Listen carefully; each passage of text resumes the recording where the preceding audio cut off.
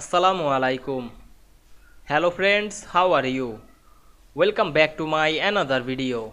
In this video, I am going to show you how to remove X from signature line in Microsoft Publisher. Let's get started.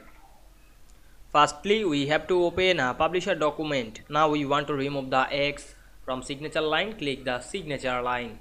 Then go to the shape format menu, click ungroup option. Then select the X and delete it. Otherwise, you can insert another signature line without X. Go to the insert menu, click the shapes drop down menu. Then select line shape. Then draw the line, press shift on our keyboard and go to the select the line shape go to the shape format menu click shape outline increase the white i hope you enjoyed the video please like comment share and subscribe my channel thanks for watching